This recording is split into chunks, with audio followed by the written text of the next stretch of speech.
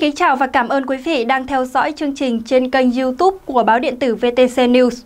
Thưa quý vị, liên quan đến vụ việc khách hàng bị biến khoản nợ 8,5 triệu đồng thành 8,8 tỷ sau 11 năm mở thẻ tín dụng của Eximbank, Giám đốc Ngân hàng Nhà nước Việt Nam chi nhánh thành phố Hồ Chí Minh cho biết, ngoài Eximbank thì nhiều ngân hàng khác cũng áp dụng phương pháp tích lãi trồng lãi.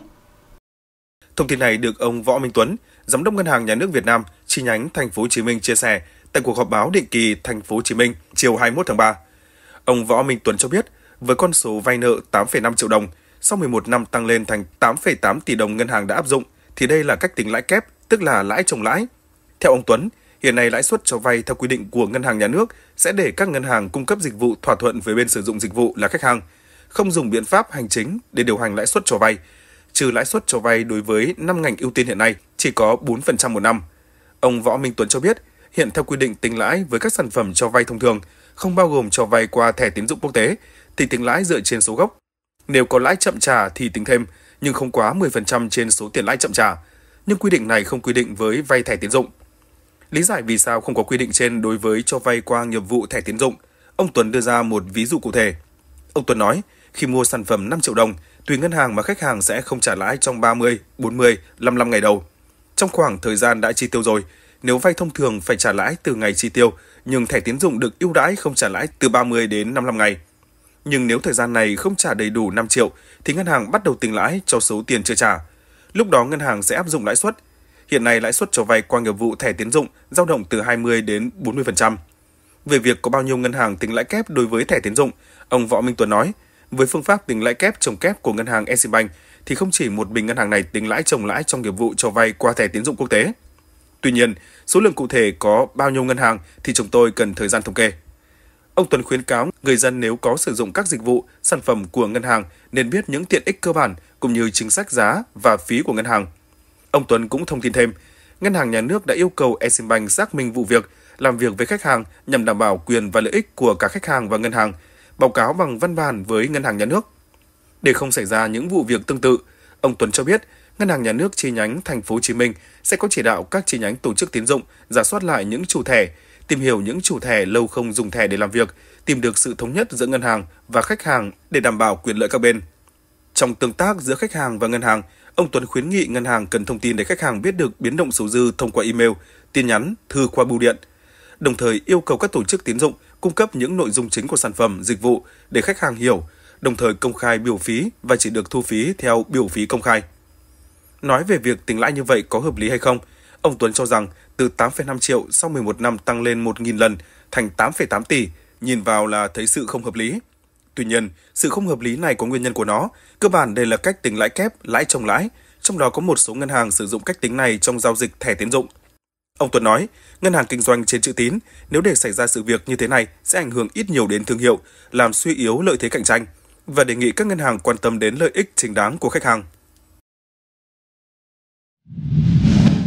Chia sẻ tại họp báo định kỳ thành phố Hồ Chí Minh chiều ngày 21 tháng 3, ông Nguyễn Hồ Hoàng Vũ, Phó Tổng giám đốc Ngân hàng Thương mại Cổ phần Xuất nhập khẩu Eximbank thông tin về vụ việc khách hàng PHA nợ tín dụng 8,5 triệu đồng thành nợ 8,8 tỷ đồng sau 11 năm. Theo ông Vũ, ngày 19 tháng 3, đại diện của Eximbank đã gặp gỡ với khách hàng. Eximbank cùng với khách hàng trao đổi thẳng thắn trên tinh thần hợp tác, thấu hiểu và chia sẻ.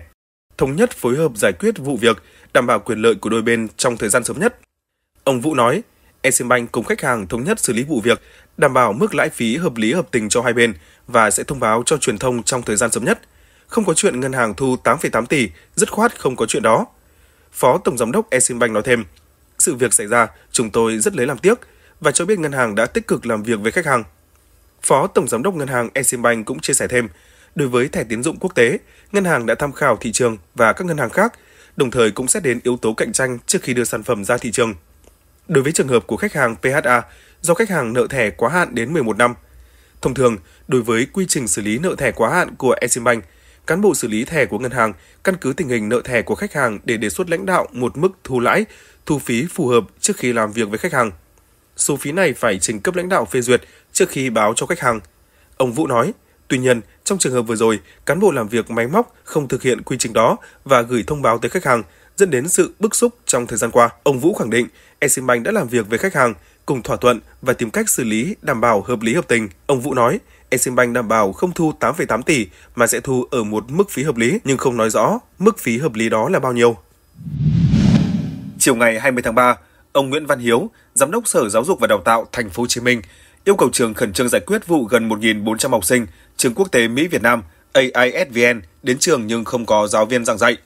Sở Giáo dục và Đào tạo Thành phố Hồ Chí Minh yêu cầu Chủ tịch Hội đồng trường, hiệu trưởng trường thực hiện chuyên môn, quản lý nhà trường đúng theo quy định. Trường cần nhanh chóng có giải pháp xử lý, chấm dứt tình trạng giáo viên xin nghỉ đồng loạt để bảo đảm việc tổ chức hoạt động giáo dục ổn định. Sở đề nghị trường thực hiện các giải pháp duy trì và tổ chức dạy học, hoạt động giáo dục đúng kế hoạch chương trình, bảo đảm tối đa quyền lợi học tập cho học sinh, giải quyết cho các em chuyển trường theo nhu cầu của phụ huynh.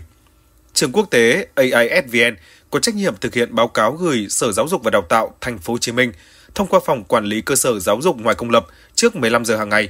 Đặc biệt, Sở Giáo dục và Đào tạo Thành phố Hồ Chí Minh yêu cầu trường quốc tế AISVN phải đặt ưu tiên trong việc bảo đảm quyền lợi học tập cho học sinh, không để việc học của học sinh bị gián đoạn. Lãnh đạo sở này cũng đề nghị trưởng phòng giáo dục và đào tạo các quận huyện, thành phố Thủ Đức, hiệu trưởng các trường trung học phổ thông, trường phổ thông có nhiều cấp học và trường có vốn đầu tư nước ngoài tạo điều kiện thuận lợi trong việc tiếp nhận học sinh có nhu cầu chuyển từ trường quốc tế AISVN đến học. Trước đó, chiều ngày 18 tháng 3, hàng chục phụ huynh trường quốc tế AISVN tập trung tại trụ sở Phòng Cảnh sát điều tra tội phạm về tham nhũng, kinh tế, buôn lậu, môi trường. Công an Thành phố Hồ Chí Minh PC03 và Sở Giáo dục và Đào tạo Thành phố Hồ Chí Minh phản ánh việc gần 1.400 học sinh bị nhà trường cho nghỉ học ngày 18 tháng 3 và nhiều vấn đề khác liên quan đến trường. Theo các phụ huynh, ngày 17 tháng 3, Hội đồng trường trường quốc tế AISVN tổ chức họp với phụ huynh học sinh để thông tin về tình hình hoạt động của nhà trường.